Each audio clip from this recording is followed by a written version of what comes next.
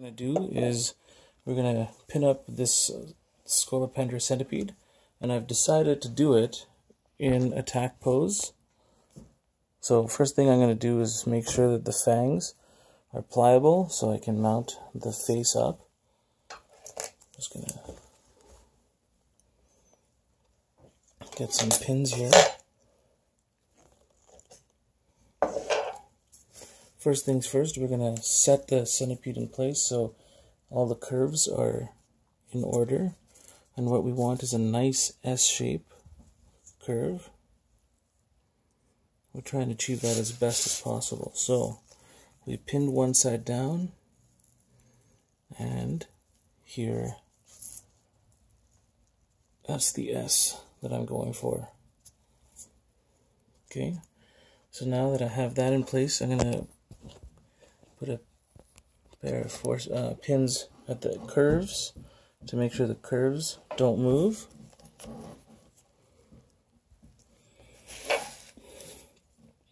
And now it's time to make it look symmetrical. So these guys are normally up. So I'm going to try and give it that lifelike pose.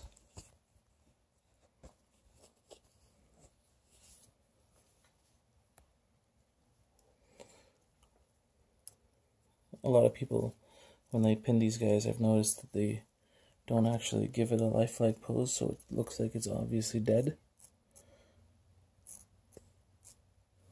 I'm gonna try my best to give it that lifelike pose. It really impose. It's really impressive when it's dry, and it looks like it's alive.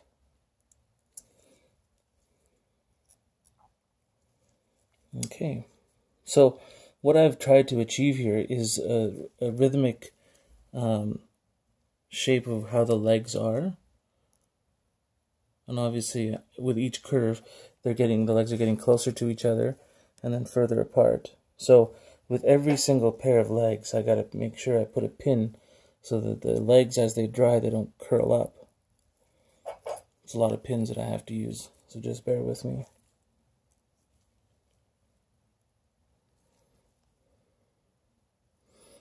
The reason I'm putting these pins this way and not really adjusting these legs because I'm really happy with how they are positioned. So we'll let it dry like this.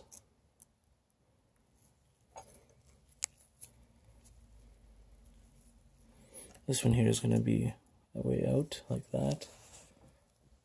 Same with this.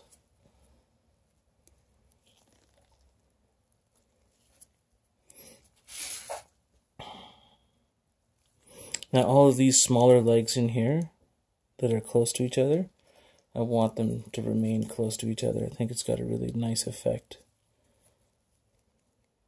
Just want to make sure they don't retract. So I'm kind of using the spikes on the edge of the feet to penetrate the Plastazote just ever so slightly so to give it that friction so that as it's drying it can hook into the Plastazote and doesn't curl up and look like an obviously dead specimen.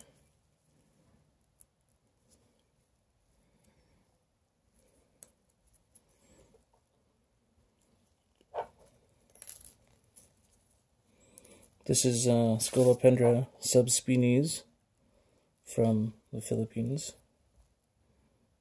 It's a really nasty uh, species, got very aggressive, uh, got a really powerful bite. The venom is potent. As a young person, you would definitely not want to get bitten by this. It would be very problematic. You would definitely need to seek medical attention.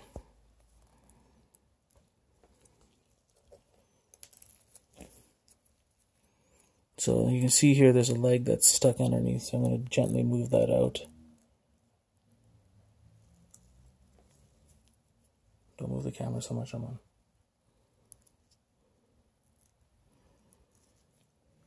Going to be still.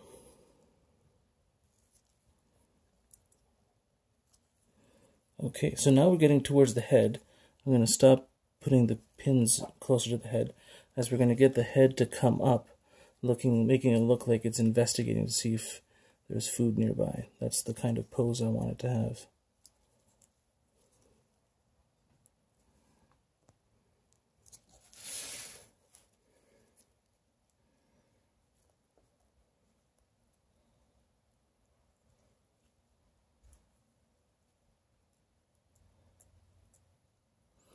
Your job is to try and keep the camera still.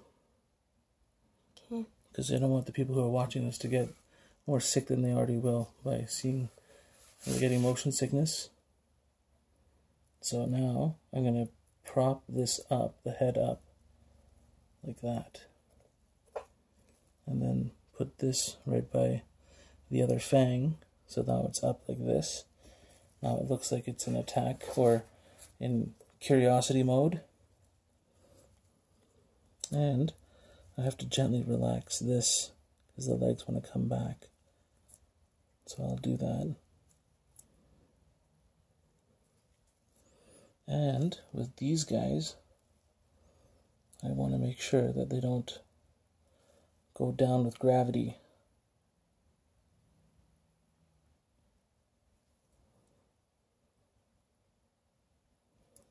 Okay.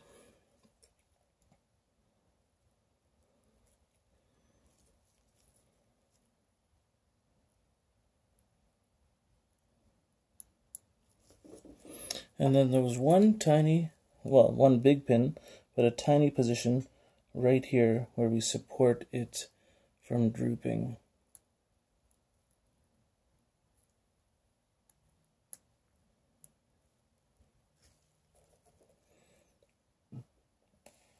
There we go. Now, looks pretty good, right? Yeah. Now what I'm going to do is I'm going to make those antennas stay up.